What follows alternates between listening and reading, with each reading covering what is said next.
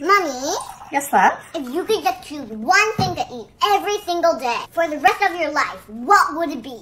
Easy. Let me show you. We're gonna start with some olive oil Ooh, and a piece of bread. mm, I love bread. Once our bread is golden brown, we're gonna take an avocado and slice it in half. So we want it to be soft, but not mushy. Soft but not mushy. Ooh, Ooh, look, this is a good one. If it's ripe, it should be really easy to spread. Let's see here.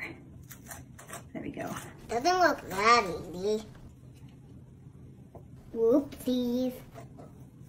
Now we're gonna fry an egg. Ooh. We're gonna place our egg on top, like this. Add a little bit of salt and red pepper flakes. Ew. And that's it. You would eat that every day? I already do. What about you? What would you choose? Pringles, obviously.